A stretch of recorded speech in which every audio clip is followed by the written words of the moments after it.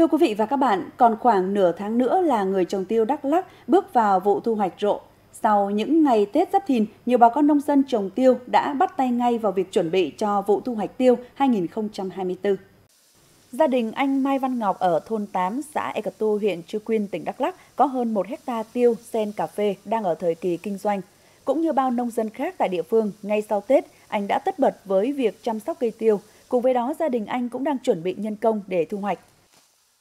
Chuẩn bị vào vào mùa tiêu, thì trong đó thì uh, tiêu bắt đầu vào thu hoạch hạt chắc hạt thì chuẩn bị vào nước cho nó để được chắc dém đừng lượng hạt nặng hơn. Theo các nông hộ trồng tiêu, do ảnh hưởng của thời tiết nên niên vụ tiêu 2023-2024 dự đoán năng suất có phần giảm hơn năm ngoái từ 20% đến 30%.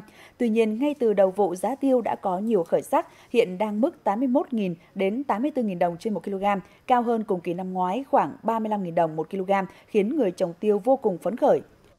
Cái giá cả như thế này thì bà con rất hài lòng. Có là năm nay là cái sản lượng năm nay là nó được hơi thấp thôi mỗi năm.